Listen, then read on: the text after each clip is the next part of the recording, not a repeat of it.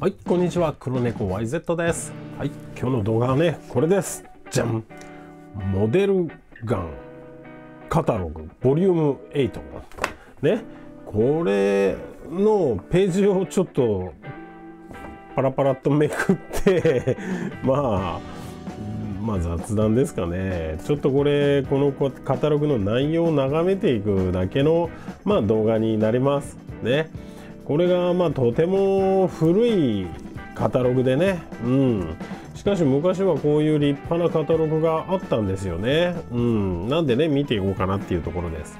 でこの品物はこのねブルーイング素晴らしく綺麗にブルーイングされた、えーマルシンの悪さ PPK かをえー提供してくださったマーさん様からね提供していただいたカタログになります。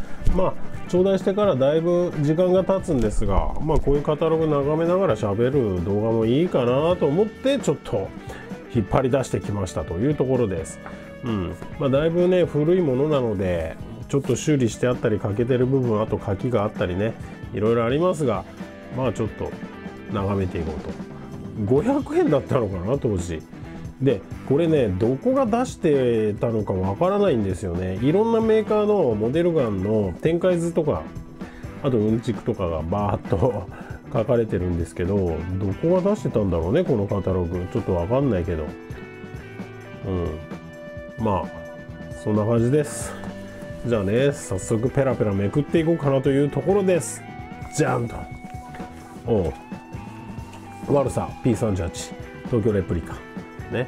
まあこういう状態で1ページ1ページ写していくんであの相当早巻きでね見ていくと思うんでよく見たいよって人は一時停止をしてもらってですね拡大してもらってよく眺めてってください。拡大とかできたっけ？YouTube って。わかんないけどまあよく見たいよって人は一時停止して見てってください。うんちく書いてありますよこれ。ね。毎回うんちくが書いてあるのかな機種ごとに。でこれは東京レプリカの悪さ P38 の展開図と。ね。でこっちは東京 CMC か。もうないよね。まあ東京レプリカもそうなんだけどさ。ね。の展開図とか。まあ部品表価格表みたいなやつとかね。ラインナップが書かれてます。悪さ P38 はやっぱり人気なんだね。うん。えーピストル。1938年っていう意味なんだっけ？まあうんちくが書いてあります。マルシンのも載ってます。ねパーツリストと。でこれなんだろう？国際産業のも載ってると。パーツリストとね。これすごいよね。ここに SM っていう刻印が入ってるもんね。こんな感じです。次。じゃんああ操作方法も一通りねこう図解切りで入ってます。次。ルガー P8 レプリカ。レプリカってメーカーなのかな？うんちくも書いてあります。ね。1908年です。ということです。ピストル08年という意味です。ね。マルシンのルガーも展開図が載ってます。まあこの頃とからあんまり変わってないんだろうねきっとね。当時6000円。おおそういうことか。ね、うん、操作っていうのも載ってます。うんまあ金属モデルガンまだ持ってるけどね。えいいもんだよね。うん。じゃんとおおこれとてもむずあれじゃない？レアなんじゃないですか？エルマルガ380ね。うんちくが書いてあります。全部読みたい人は一時停止してください。ね。うん。えー、すごいんだね。エルマっていうあの会社が作ったものなんだね。22口径のトグルジョイント方式のピストルをね。ルガーの名称で発売したと。なるほどね。まあルガー P8 そっくりだけどグリップ周りがちょっと違うのかな。ね。っていう感じ。うん。すごいね。面白い。出た。コルトガバーメント。M1911A1 とね。丸号って書いてありますけどもうもう丸号とかさ僕全然わかんないからね。直接わかりません。で、うんちくが書いてありますね、ジョンブリ、えっ、ー、と、うんちくが書いてありますね、ジョン・ブローニング、うんぬんかんぬんと。ね。もう第一次大戦以来っていうことなんだよね。こんな感じで。で、国際産業のコルトオートマチック、ね、45口径。こっちはガバメントっていうよりもゴールドカップとかコマンダーとかね、まあ、レースガンの部類を発ラインナップしてたのかなねで東京 CMC も各社だよねうんガバメントになると。ねパーツリストも載っててという感じですが。うん。コルトコマンダーって書いてありますけど。うん。だってこれまだ紙火薬時代だよね。うん、紙火薬を何個かほぐして弾頭部分に詰め込んでっていう時代のねあのカタログですから。でこれ44オートマグモデルね。出た国際産業ですよ。パーツリストもあります。でうんちくも書いてあります。ね。えー、これがですねダーティーハリーについても言及してあるのかな？うん。してないかもしれないけどこれ。ね。うんちくが書いてありますこれは国際産業のものだけ。あれなんだね。うん。じゃあ次いきますよ。じゃんとブローニングハイパワー M1935 東京レプリカ。うーん。時代を感じちゃいますねこれ。これなんだろうねサイトの形状からいくとあとハンマーの形状からいくとどうなんだろうミリタリーともカナディアンともつかないけどね。うん。ねうんちくは書いてありますよ。うん1900ね1935年。うん。なるほど。こんな感じです。次言いますか。じゃんモーゼル M1896 ハドソン。おお4700円っていう値段がちょっとあれですけどね。うんちく書いてあります。すげえ長くうんちく書いてあるなこれ。うん。えー、すごいよ。読みたい人は一時停止して目を凝らして読んでみてください。ああそういうねパーツリストとか眺めるともう面白いですよね。うん。モーゼル M1930 ミリタリーピストルハドソン。ね。まあこの辺はあれだけどじゃんと、うん、南部14年式拳銃ハドソン。これね。うんちくも書いてあります。おパーツリストね。結構分解繰り返したよなハドソンの金属モデルな。履かさせると調子悪いんだよね。うん。懐かしいね。です。じゃんと。次。フレンチ M1935A 東京レプリカ。えー、フレンチ？ん？なんだろうなこれ。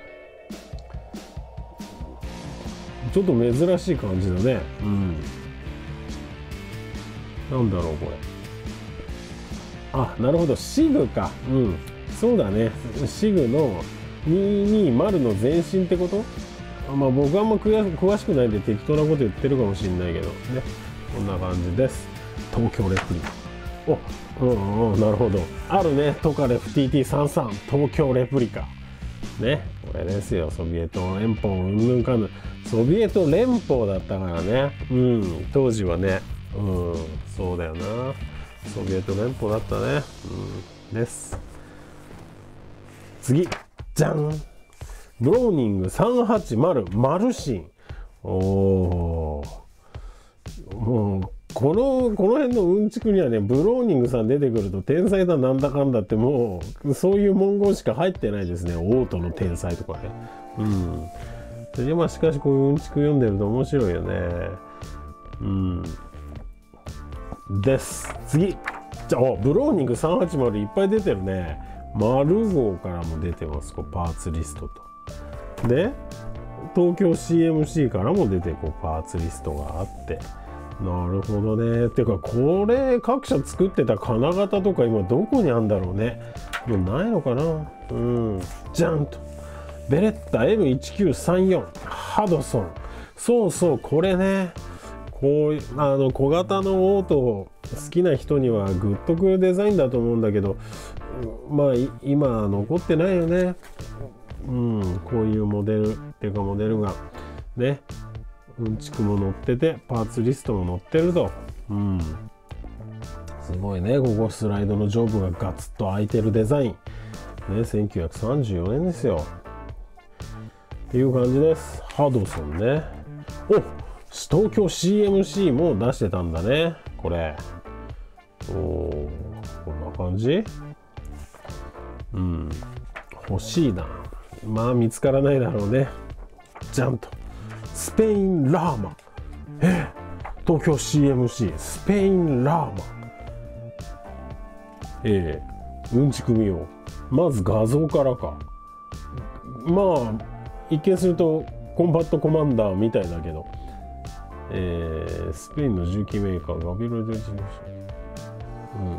うん、ブローニングタイプのオートピストル。へえ。なるほど。ガバのガバメントのコピーってこと？なるほどね。詳しい人は詳しいんだろうね。僕はへえとしか言えないけど。じゃん。ワルサー PPK マルゴー。出たね。じゃん。おおこういうデザインだったんだ。マルゴーの。えー、これです。うんちく。ね。えー、PPK は東京 CMC も出してました。これです。まあ画像がねちょっとまあ分かりづらいかもしんないけどこれはかなりマルシンのに近いイメージがあるんだけど。あいた。ワルサー PPK マルシン。おおなるほどね。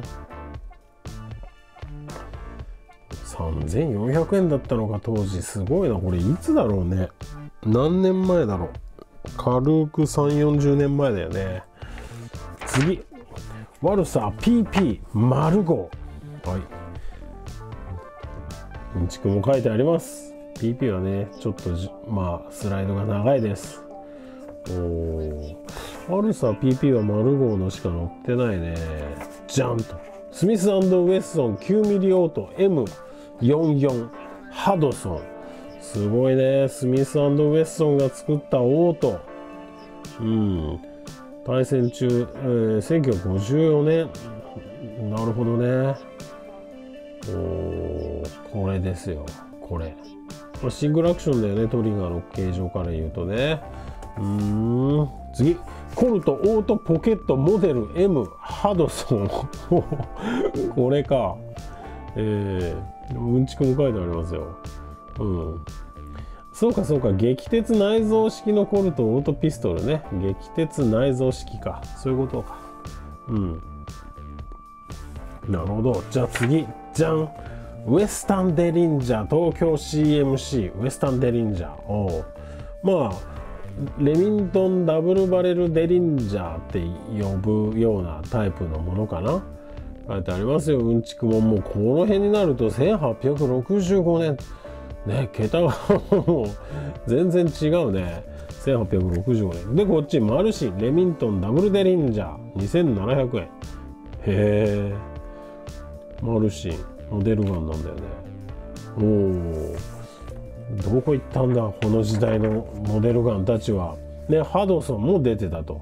ハートフォードのやつってどこの金型使ってんだろうね。ハドソンのかな？なんか違うような気がするな。えー、まあ、こんな感じで。す。で、コルトシングルアクションアーミーリボルバーマルシン、ジャンと。西部を征服した拳銃として名高いコントピースメーカー。なるほど。えー、このうんちく面白いな。これね、ずっと読んでられるんだよね、このカタログね。うん。すごいね、マルシン。マルシンは今はシングルアクションアーミーって出してないよねうーん金型どこ行ったんだ？次じゃん、えー、東京 CMC コルドシングルアクションアーミーリボルバー。ね。で国際産業。大人気だったんだね当時。うん西部劇がねやっぱりすげえ人気だったんだろうね。うん。そういうことか。ジャンとシングルアクション東京 CMC も各社から出てますよね。うん。この展開図にピンときたら ピンときたらっていうかまあみんな知ってると思うけど僕は知らなかったけど。まあいろいろありますよね。ジャンとコルトシングルアクションはミリボルバージュニアタイプマルシンああそうか。4分の3のミニチュアサイズの金属モデルガンね。4分の3っていうかミニチュアサイズだから金色じゃなくて金属モデルガンで出せたよっていうやつだね。うん。でおマルゴンもジュニアタイプ出してたんじゃないですか。これはまあスケールがわからないけど。うん。へえそういうこと。なるほどね。うん。マルゴマルゴっていうメーカーのモデルガン僕も直接いじったことないんでなんともね。じゃあレミントンリボルバーキャル44東京 CMC これかっこいいね、東京 CMC なんだね。うんちく書いてあるけどさ。はうん。南北 南北戦争ですよもう。1860年だもんね。うん。そういうことか。なるほどね。すごいよね。かっこいいねこれ。モデルガン。こういうモデルガン出してもらいたいね。まあシングルアクションアーミーに近いっていうか似てる感じだけどね。の進化版なのか？シングルアクションアーミーのうんちくが出てないけどシングルアクションアーミーが1940年代だからこれは1860年だからシングルアクションアーミーよりも古いってこと？まあ、この辺僕はまああんまり詳しくないんでね、うん、適当に喋ってます。じゃーんとスミスウェスト44マークナム M29 リボルバー東京 CMC いいね。で、うんちく書いてある。スミスウェストン社とレミントン社によって、まあ弾丸ね、うん、44マグナムね。なるほどね。そうか、東京 CMC すごいね。一時代を築いてるね、なんか。マルゴそう東京 CMC とマルゴで一時代を築いてるなじゃん。国際産業。お国際リボルバーといえば国際だとは思うけど。うん。ね。これ。そういうことか。全盛期だったんだろうなモデルガンのねこういう。全盛期でもないかキャップ火薬。どうなんだろうな。僕はもうリアルタイムで分かんないからね。うん、次じゃんハイウェイパトロールマン M28 国際産業。これです。うんちくあり。このうんちくちょっとね面白かったな。うん。ね357マグナムリボルバーの廉価版モデルで仕上げがちょっと違ったみたいなんだけどまあ357マグナム。とグリップちょっと細いよね。うん。っていうことです。じゃんコンバートマスターピース。これわかんねえな。マルシン。へえ。1949年10月、えー、38口径のスペシャルジッポー6連発。へえ。なるほどね。こういうモデルがあったんだね。うん次。マルシンスミスウェストン357コンバットマグナム M19 M19 出てきましたよ。1935年ねおおそういうことか。M19 これは今ガスリボルバーになってるのかな？今じゃないか。ね。どうなってるのかわかんねえけど。うん。マルシン。マルシンもこの頃からあれなんだね。結構頑張ってるようなイメージがあるけど。ジャンと。スミスウエスト357コンバットマグナム M19 国際産業。ジャーンと。あれかな？国際もやっぱりこの頃からと連綿と受け継いだ金型を使って生産してたのかな？ねなくなっちゃったけどさ、うん、こういう昔のカタログ眺めてるとねなんかいろんな引きこもごもって感じがします。ね。東京 CMC こう M27 へえ。M27 にはうんちくがないね。うんどういうことなんだこれは。まあ357マグナムだよね。うん。なるほど。見てるとね面白いな本当に。ジャーンと。ハドソンルガーブラックホーク35744マグナムと。この当時はハドソンだけだったのかブラックホークは。ねこれです。うん。なるほどね。うんちくも書いてあります。かっこいいね。この間ダメージ塗装したね。作るモデルガンの。うん。な感じです。次ゴージャンプ。コルトダイヤモンドバック。東京 CMC おおダイヤモンドバック。これはさ Python と何が違うんだ？うーん。なるほど。うん。そうか22ロングライフル。ん？まあ要は Python とは使う弾が違うのか。ねバレル似てるけど。えー、そういうこと。ダイヤモンドバックはガラガラヘビの一種の名前ですと。ねコルト社が鉄砲に蛇の名前つけるときは本気ですよと。そういう認識でいいのかなわかんないけど。まあまあまあ。ねほらコルトダイヤモンドバック国際産業も出してました。ね。おおところここスミスウェストミリタリーポリスリボルバー。これわかんねえな。国際産業。バレルが長いね。かっこいい。これです。名前の通り軍隊と警察の併用を目的に開発された拳銃そうかポリスミリタリーポリスなのにね。うん。こうなってます。じゃあ次。じゃん。スミスウェストンチーフスペシャルハンドエジェクター。国際産業。じゃん1950年もう1950年か。70年とか前だよね。今から行くとね。うん。逆に70年変わらないようなっていうか似たような機構でずっとリボルバーね日本で今も使われてますけどうんそれってまたすごいよね。うん。じゃーん。ニュースミスウェストンチーフスペシャルハンドエジェクター国際産業。えちょっと待って。こっちも国際産業だけどこっちも国際なのか。なんかどっか新しくなったんだろうね。うん。東京 CMC を作ってましたと。おいいね。チーフスペシャル。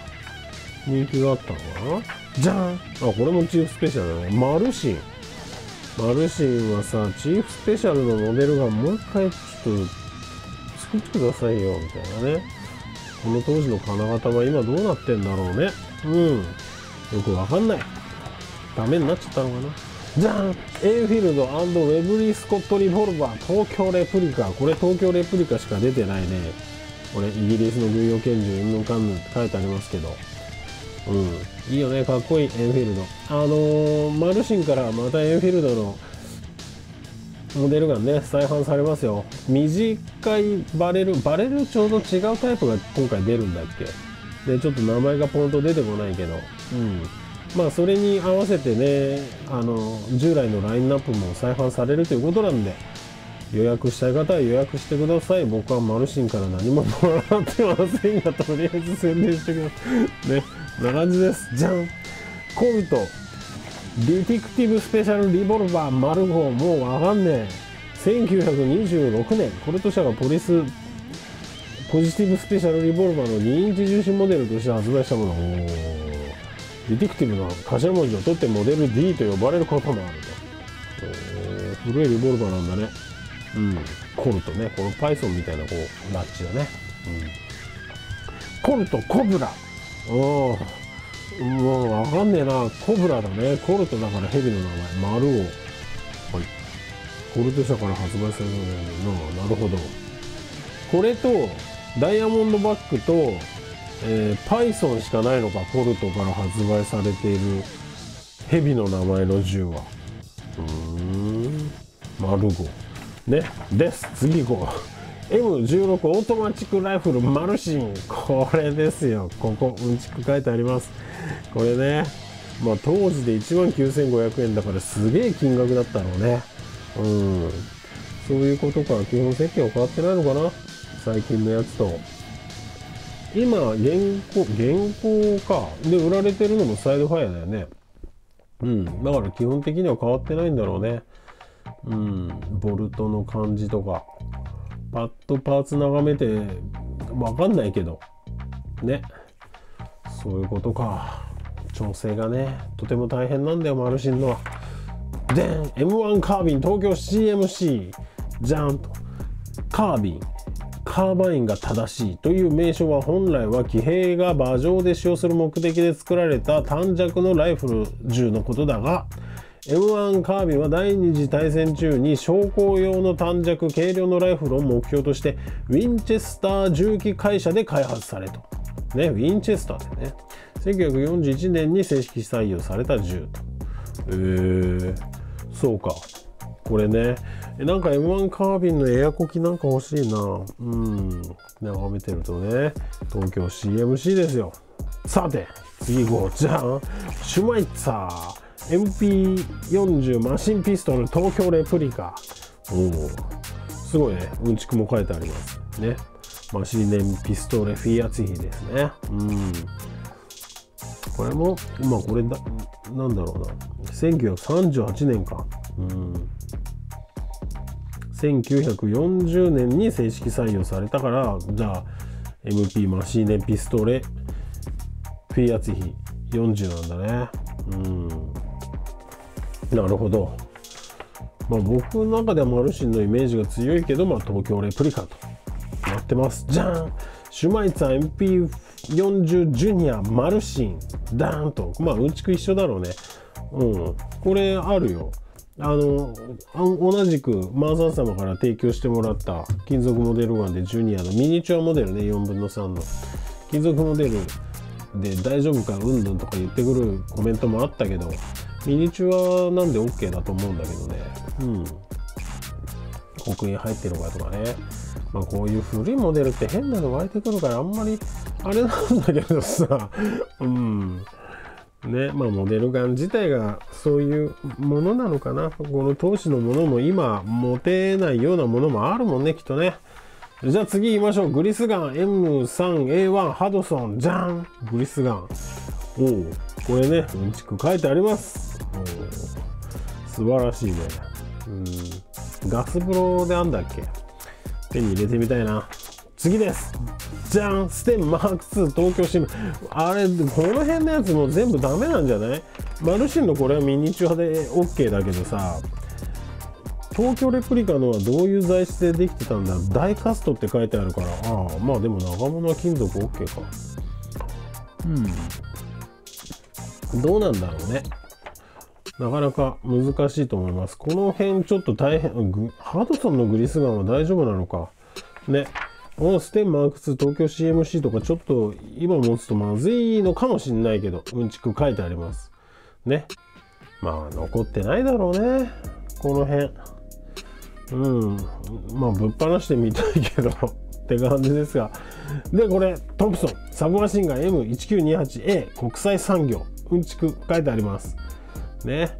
かっこいいよね。これ東国際のだったかな。こっちあるかな。まあマルシン。マルシンのは知らない。国際のだったからまあ結構多分見かけるよね。中古で。結構な値段になってるけど。うん。いずれ手に入れてみたいなとは思います。次じゃーんトンプソン。サブマシンガン。4分の3マルシン。まあジュニアサイズだねこれはね。うん。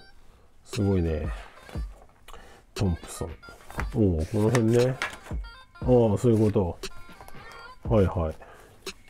昔ね LS だったかどっかの組み立てキットのエアコキのねトンプソン。スプリングがねきつすぎてコッキングできなかったっていうね思い出がありますけど。じゃん。ウエスタン M73-5 ええ。なるほど。まあウィンチェスターだね。うん。そういうことか。おおこの辺はもう僕は全く詳しくないんでね。じゃん。